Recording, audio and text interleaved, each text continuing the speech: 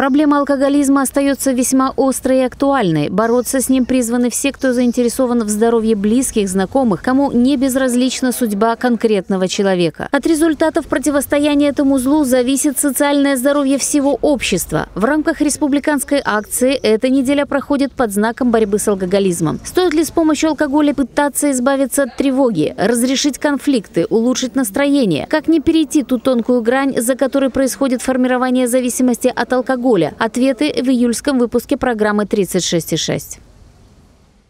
Пьянство – мать всех пороков. Алкоголизм – это порождение варварства. Мертвой хваткой держит человечество со времен седой и дикой старины и собирает с него чудовищную дань, пожирая молодость, подрывая силы, подавляя энергию, губя лучший цвет рода людского. Потребление алкоголя влияет и на качество жизни человека, на его состояние здоровья и, конечно же, на длительность жизни человека. Э, не зря э, наше государство, глава государства, правительство предпринимает ряд мер именно по укреплению демографической безопасности населения.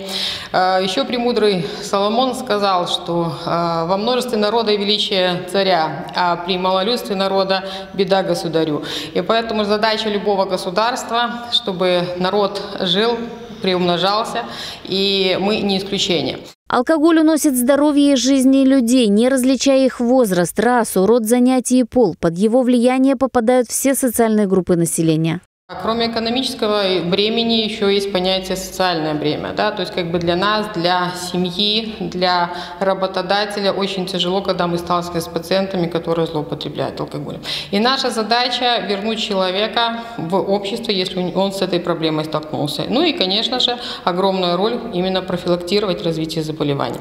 На данный момент э, в, э, в государстве э, главная цель – это реабилитировать тех лиц, которые страдают зависимостью.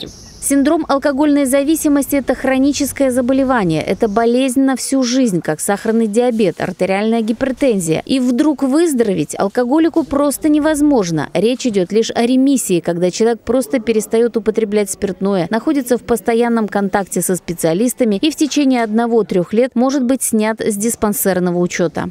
Работа долгая, не очень такая праздничная. Ясно, что близким хочется, чтобы человек перестал пить сейчас и сегодня, а это семейная проблема. И чаще всего семьи у нас не всегда подключаются. Вот. Ты пьешь, это твои проблемы.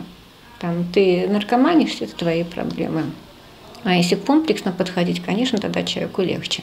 Я ответственность с них не снимаю, с наших пациентов. Безусловно, они принимают на себя ответственность. Но проблема очень трудная, и времени нужно много.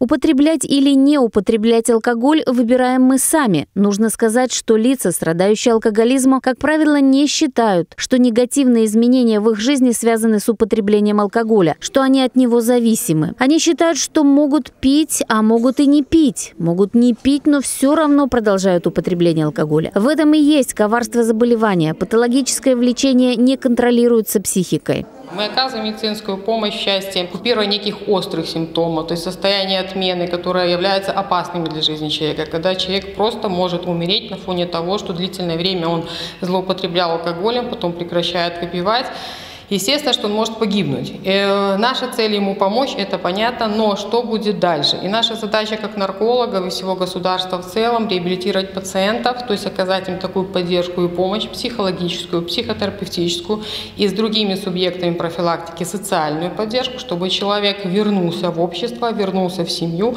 чтобы он э, стал полезным для всего государства в целом. У каждого пациента больным алкоголизмом есть глубокие какие-то и неглубокие, начинающиеся какие-то психические проблемы. Их надо лечить, их надо выравнивать, их надо корректировать. А обычно близкие говорят, ну что ты пьешь, возьми себя в руки, а там лечение необходимо. Поэтому если человек хочет целостно подойти к своей проблеме, да, он получает здесь поддержку. И медикаментозную, и психологическую. А, более того, мы знаем, что есть немало людей, которые без медицины и сами могли, взяли себя, так называть, в руки. Но это малая часть, очень малая часть. Лучшая профилактика – это полный отказ от употребления алкоголя с юношеских лет. Те, кто ни разу в жизни не напивался, кто всю жизнь воздерживался от употребления алкоголя, ни разу не пожалели об этом. В нашем э, учреждении на базе стационарного отделения функционирует 10 реабилитационных коек. Специалисты нашего филиала, то есть психолог, хиат-нарколог, работают с такими пациентами, то есть которые на данный момент они уже не употребляют алкоголь, но их нужно научить жить трезво дальше. То есть э, программа рассчитана на 28 дней, это, конечно, по желанию пациента, но это в том числе и для работающих пациентов, то есть больничные листы, они оплачиваются э, работодателем, то есть здесь э, права пациентов ни в коем разе не ущемляются. Кроме того, возможно амбулаторная реабилитация в отделении дневного пребывания или же работа с, в школе трезвости, как у нас работает в филиале, то есть это не, не анонимные алкоголики, а именно специалисты нашего филиала, психолог, психотерапевт, каждый четверг в 6 часов вечера абсолютно абсолютно бесплатно, анонимно оказывают наркологическую помощь именно в части того, чтобы человек задумался и встал на путь исправления. Специалисты наркологического диспансера всегда готовы оказать помощь пациентам, которые переступили черту, за которой начинается путь в бездну. Э, на данный момент у нас на учете состоит именно в связи с зависимостью от алкоголя 3408 человек.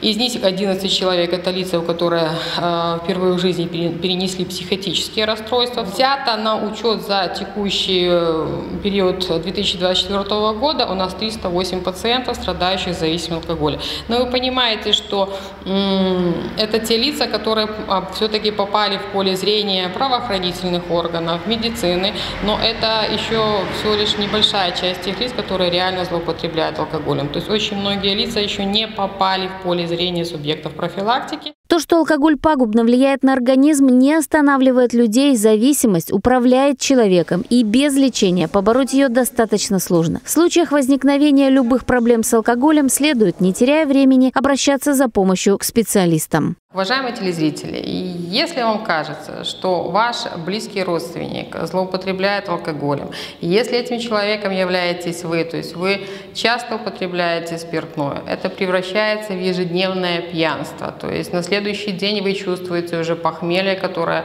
вынуждает вас похмелиться, чтобы употребить очередную, дозу алкоголя. В таком случае я рекомендую вам незамедлительно обратиться на консультацию к врачу-психиатру, нарколога, филиала межрайонного районный наркологический диспансер. Мы располагаемся по адресу город Пинск, Рокоссовского, 8 улица. Это второй подъезд пятиэтажного здания, второй этаж регистратура. Вы можете получить консультацию анонимно, платно. Вы можете прийти на, на прием для постановки на учет, но в любом случае наши специалисты вам окажут необходимую медицинскую помощь для того, чтобы помочь вам решить проблемы вовремя.